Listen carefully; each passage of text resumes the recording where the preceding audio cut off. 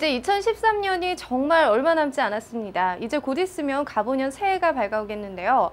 새해 첫날인 내일은 남부지방 대체로 맑겠고 중부지방은 가끔 구름만 많아서 구름 사이로 해가 뜨는 모습을 보실 수 있겠습니다.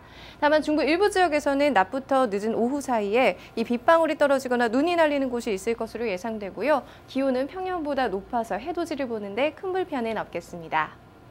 내일 언제 해가 떠오를지 궁금하시죠? 새해 첫 해는 독도에서 7시 26분에 가장 먼저 떠오르겠고요. 서울은 7시 47분쯤, 강릉은 이보다 7분 정도 빠른 7시 40분에 해돋이를 보실 수 있겠습니다. 현재 남부지방은 맑은 모습이고요. 중부지방 가끔 구름이 많습니다. 일부 지역에서는 연무나 방무도 살펴지고 있습니다. 네, 우리나라는 계속해서 중국 중부지방에 위치한 고기압의 가장자리에 들겠지만 중부지방은 일시적으로 북쪽을 지나는 기압골의 영향을 받겠습니다. 네, 남부지방은 대체로 맑겠고요. 중부지방은 가끔 구름이 많겠습니다. 낮부터 늦은 오후 사이에는 서울, 경기와 강원, 영서 그리고 충북 북부 지역에 빗방울이 떨어지거나 눈이 날리는 곳이 있겠습니다.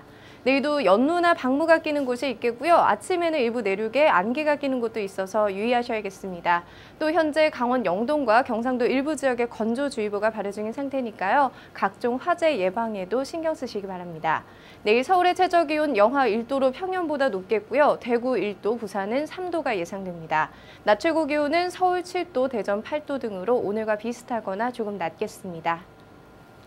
현재 동해 먼바다와 남해 먼바다 등의 풍랑특보가 발효 중입니다. 오늘과 내일 먼바다를 중심으로 매우 강한 바람과 함께 물결이 매우 높게 일 것으로 예상돼 주의가 필요하겠습니다. 지금까지 기상정보였습니다.